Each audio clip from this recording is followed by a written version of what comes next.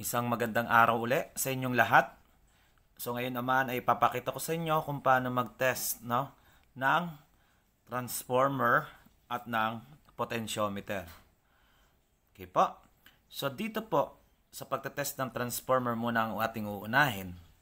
So kailangan po isa-set natin ang BOM or analog multitester sa times 1. Okay, bago po tayo mag-test, kailangan po nating i-calibrate ang multitester. So, lagi ko pong sinasabi sa mga nakaraang kong video na kailangan bago gamitin ang multitester, kailangan ito ay kinakalibrate. So, pag-shorten lang natin ang dalawang test probe at saka i-adjust ang 0 ohm adjustment knob para mapapunta sa 0 ang pointer or needle. So, adjust lang po natin. So, yun, nasa 0 na po siya. So, calibrated na po ang ating BOM or multitester. So, pwede na po siyang gamitin. So, ang transformer po, composed of two or more inductor or coil of wire. So, ibig sabihin, may dalawang coil of, coil of wire dito or inductor. So, may dalawang bahagi po ang transformer. The primary, ito po yung input na primary at ang secondary. Ang secondary naman po ang output. No? Itong ating itetest ay tinatawag na center tap transformer. Kasi po, meron siyang nakatap sa gitna yung 0. No? So, ito naman po ang kanyang input, 0 at saka 220. Ito naman po ang nilalagay sa AC line cord para i-connect naman sa outlet. Na? So, yan po. So ito rin po ay tinatawag na step down transformer. Kasi from 220 volts, ibababa niya sa output na 12 volts ang output.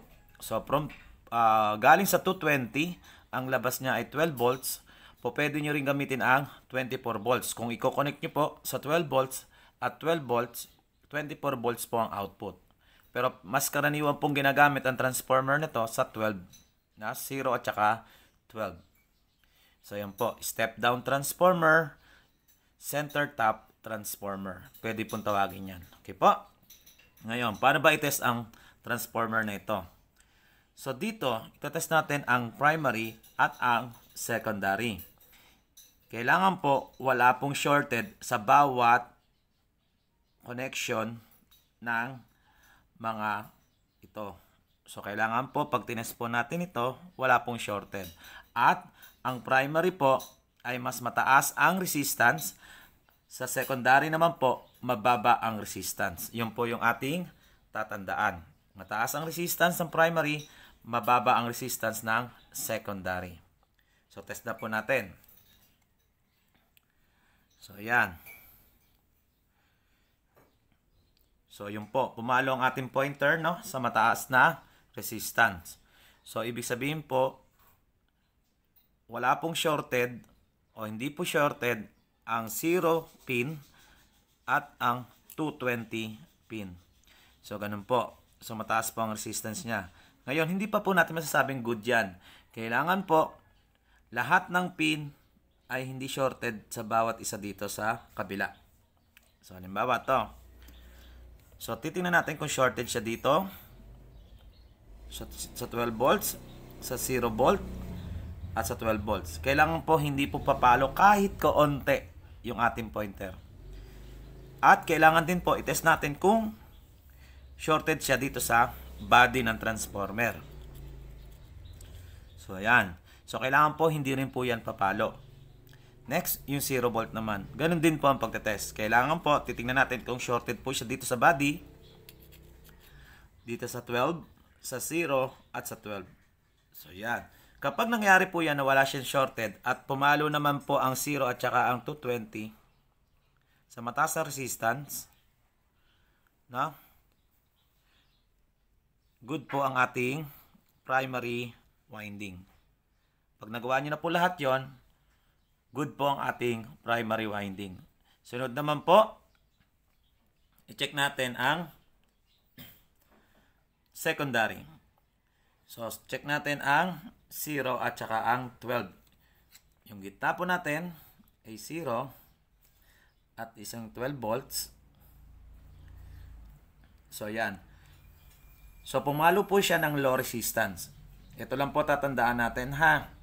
So, low resistance siya almost zero. Pero pag yan ay nasa zero, hindi po po pwede. Shorted po ang ating transformer kapag ito ay nasa zero. Pero kapag pumalo po siya ng almost zero, so ayan po, meron pa siyang uh, ah, 0.8 ohms. No? Meron pa siyang 0.8 ohms po pwede good pa rin po siya. Huwag lang pong papalo ng 0. Okay, yung kabila naman po. So, hindi, na, hindi ko na po inalis yung ating test probe sa 0. Sunod naman po ay dito sa kabila. So, dapat pareho lang po ang reading nung kabila dito sa kabila. Sa kabilang 12 volts. So, ayan, pareho lang naman po na 0.8 ohms. So, ayan po. Basta wag lang po papalo ng 0. Kasi pag 0 po ay shorted po tayo. Next, yung 12 volts sa 12 volts. Yan. So, sa 12 volts at 12 volts, so, mas mataas po ang kanyang resistance kesa sa 0 to 12. Mas mataas po ang resistance ng 12 volts to 12 volts kesa sa 0 to 12. Okay po? So, pag ganyan, good po ang ating, ah, hindi pa po pala masasabi natin good kailangan i-test natin to, itong tatlo, kung may shorted dito sa body. Kailangan po walang shorted. So, yan. Dapat hindi po papalo kahit konti. So, yan. Wala naman po. So, hindi ko na siya tinest dito sa primary. Kasi, natest na natin kanina sa primary na wala talagang shorted yung secondary. Kaya hindi ko na po tinest ulit. So, dito na lang po sa body. So, ibig sabihin, walang shorted po ang secondary sa body ng transformer. So kapag nagawa nyo na po lahat iyon, so good na po ang ating transformer. Ulitin ko po. Itetest po ang ating primary 0 and to 20. Dapat mataas ang resistance. Ang secondary 0 to 12 kabila, 0 to 12 sa kabila at 12 to 12 kailangan po mag-reading po siya ng low resistance. At dapat ang primary winding at secondary winding ay walang shorted sa isa't isa at hindi rin po siya shorted sa body ng transformer. Kapag ganun po ang nangyari, good po ang ating transformer. Okay po? So, test natin tong isang maliit na transformer. So, ganun din lang din po ang gagawin natin. I-test lang natin ang primary. So, pumalo po siya ng mataas. Halos hindi nga po gumalaw, pero gumalaw po siya. Siya po ay nasa 500 ohms. So, good, uh, hindi pa po siya good. Test natin kung shorted sa secondary. Wala naman po sa body. Wala din po yung zero. Wala rin pong shorted. Sa secondary, wala rin pong shorted. So, good na po ang ating primary winding. Next, ang secondary po natin. So, test lang po natin. Yan, pumalo po siya. Pero almost zero lang din po. Hindi pa po siya nasa zero. Nasa 0.6 or 0.4 po siya. Then, sunod po yung kabila. okay. So, yan. And then, yung dalawang dulo. So, mas mataas po ang resistance kaysa doon, pero mababa pa rin po. Then, itest natin ang shorted sa body. Wala rin po. So, ibig sabihin, ang ating transformer nito ay good. Ganun lang po ang pagtetest ng transformer. Tatandaan lang po natin, kailangan po hindi po siya nasa zero, yung secondary. Na? Next naman po ay ating potentiometer. Ang potentiometer naman po, ito po ay na ito po ay uh, tawag dito, resistor po, variable resistor. So, ang potentiometer po, ito ay ginagamit sa mga volume control. So, ayan. Okay, so paano pagtatest ito? Babasahin nyo muna kung ano ang kanyang value. Ang value niya po ay 10K. Ibig sabihin po, pag isinagad nyo po ang pihit sa kabila, sa left, yung kabila po ay 10K at yung kabila naman po ay 0.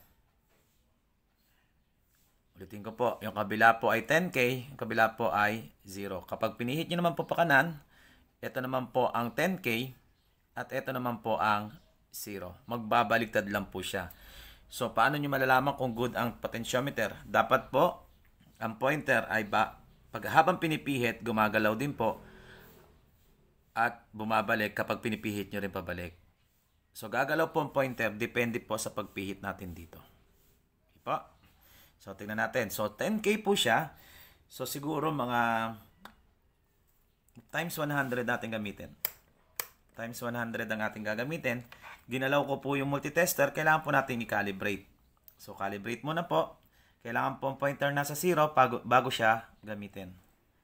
So, yun. Nasa 0 na po siya. Pwede na po siyang gamitin. Okay po.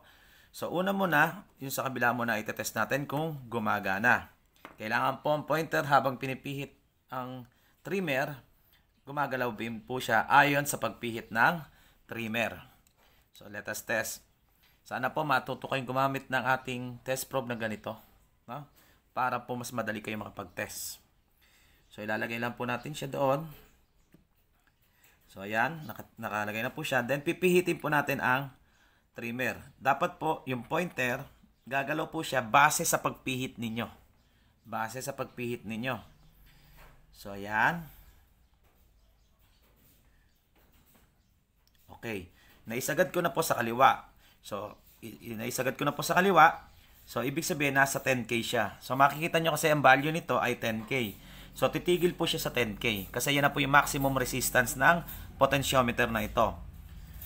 Pero, sabi ko sa inyo, yung kabila niya ay shorted. So, lilipat ko po yung test probe sa kabila. Yan. Dapat po nasa 0 siya. Yung kabila. Na? At yung kabila dapat nasa 10K. Yung po, yung ganun po yon Pag nakasagad. Now, titest naman natin yung kabila. Na? So, yan. So, dapat pag sinagad ko yung p-head sa kanan, titigil po siya sa 100 or sa 10K. So, yun, tumigil po siya, nakasagad na po siya sa kanan.